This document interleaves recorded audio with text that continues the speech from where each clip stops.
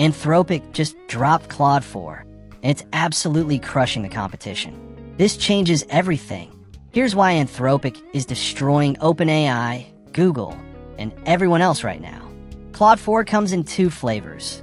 Opus 4, the world's best coding model that's literally breaking benchmarks, and Sonnet 4, which is faster and smarter than anything else out there.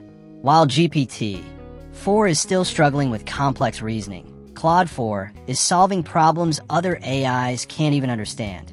But here's what makes Anthropic untouchable extended thinking.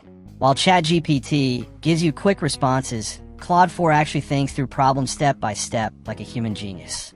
Parallel tool use Claude 4 handles web searches, file analysis, and coding simultaneously while competitors do one thing at a time.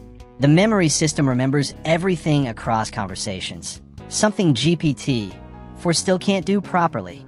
And here's the kicker. Anthropic's focus on safety means Claude 4 gives you better, more reliable answers without the weird refusals or hallucinations plaguing other models. While OpenAI is dealing with alignment issues and Google's Gemini is having accuracy problems, Claude 4 just works. It's helpful, honest, and actually harmless. The proof?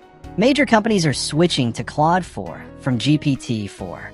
Cursor, Replit, Rakuten, they're all choosing Anthropic because the performance gap is massive.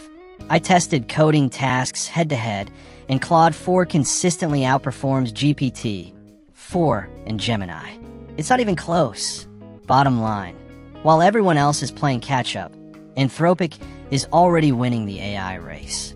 Claude 4 is live right now at claude.ai and you can access it through their API.